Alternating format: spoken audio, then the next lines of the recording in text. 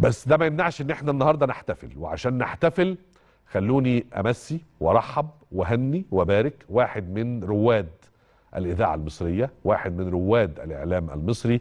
هو أول مراسل عسكري مصري في حرب أكتوبر المجيدة وصوته يعيد لنا زمن الإذاعة الجميل. وتحس كده لما تغمض عينيك وأنت بتسمع صوته أول ما يقول لي مساء الخير يا تامر دلوقتي بطريقته كده هتحس إن أنت رجعت إلى أثير صوت العرب وأثير الشباب والرياضه وأثير القاهرة الكبرى والكثير من القنوات اللي مثلت تراث في وجدان المواطن المصري.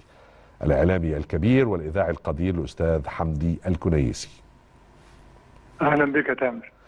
أنا قلت لكم هي أهلا بيك يا تامر دي لوحدها. أصبحت خلاص يعني تريد مارك علامة مسجلة. إزيك يا أستاذ حمدي؟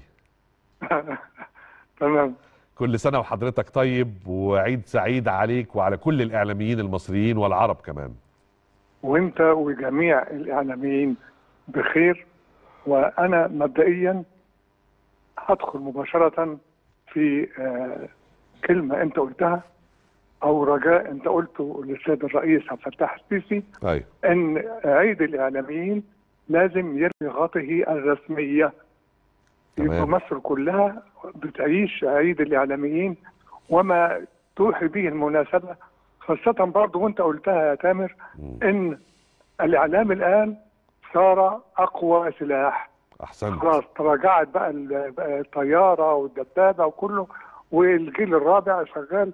فأنت أنا سعيد قوي بالتقديم اللي أنت عملته إنك وضحت أمور تليق بالإعلاميين وبعيد الإعلاميين. الحمد لله وأنا متأكد إن الدولة المصرية ستكون على قناعة إن شاء الله بأهمية عودة الاحتفال الرسمي بعيد الإعلاميين بإذن الله والسنة القادمة إن شاء الله نكون كلنا على رأس هذه الاحتفالية. أستاذ حمدي إن شاء الله حضرتك طبعا أقدر مني على تعريف الناس بهذا العيد اللي تم اختياره بناء على انطلاق موجات الإذاعة المصرية في عام 1934 لمن لم يحضر هذه الفترة كيف تصف لهم الإذاعة المصرية وانطلاقتها وتأثيرها في وجدان المواطن العربي كله؟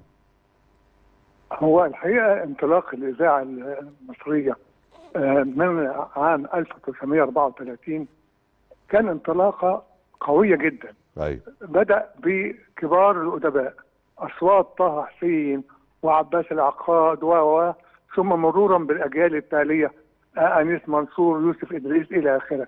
ده الجانب الثقافي المباشر. تمام. الجانب الإخباري المباشر أعتقد آه لا يختلف اثنان على إن الإذاعة كان لها دور مهم جدا عندما قامت ثورة يوليو 1952 والزعيم جمال عبد الناصر اوصى بان يتم عمل إعلامي من خلال الإذاعة بشكل أقوى وبالفعل كما نعلم جميعا آه تم دعم وتقوية الإذاعة انشئت إذاعة صوت العرب إلى آخره.